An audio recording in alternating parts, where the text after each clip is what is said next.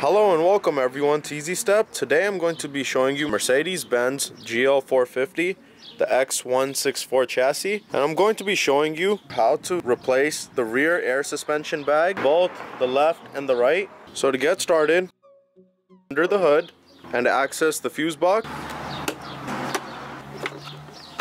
I'm going to remove 40 amp fuse. This is the fuse for the air suspension and the air compressor. You want to have this removed before you jack up the car and work on the rear air suspension. Jack it up.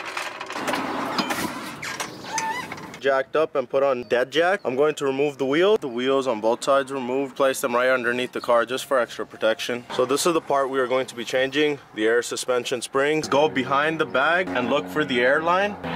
The airline itself is right there. And to remove this, you need a 10 mm key.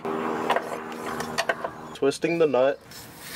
Once you start hearing the air leak, so let it slowly leak out. And once it's fully leaked, the bag itself should be soft and it should be able to push in. Move the airline to the side. I'm going to remove the ride height sensor, which is located right here. need a 10 mm socket.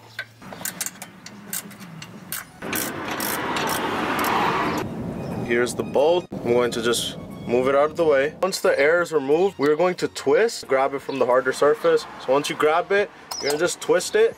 And once it's out of place, you're going to be able to tell from the bottom as it's going to be able to move around. And now that the bag freely moved, I'm going to push it right out of this hole. And also to make this easier, you want to remove the two AMM bolts as well off the ride height sensor. So it completely, this moves out of the way. Bolt removed. Ride height sensor is going to move out of place. And now that we have all this open space, it's going to come right out. And that's the hole. And that's the little clip that it was attached to. My new airbag. So the new bag comes with the new fitting for the airline, which I'm going to remove. Now that this is removed, I'm going to replace it with the old airline, which is right there. And I'm going to remove the old fitting from the airline and push this piece upward. And once you do that, as you can see, there's a gap now. And we're going to remove, this one's gonna come straight out. Now I got the new fitting on. And now I'm going to put the small little ring. Just twist this on. And once it's in place, I'm going to bring in the new airbag. So here's the new air spring. I'm going to slowly slide it in place. And this hole right here is going to go up there. Once it's in I'm going to first place it inside the hole. I'm going to connect the airline.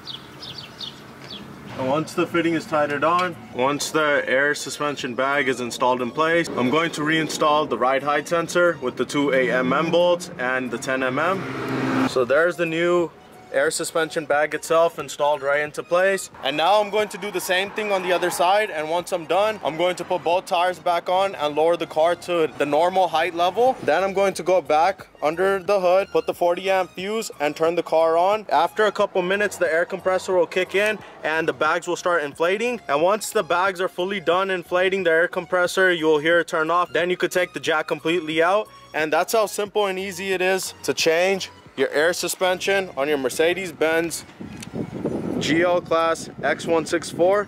And if this video has helped you out, please don't forget to hit the like, share, and subscribe button. Thank you.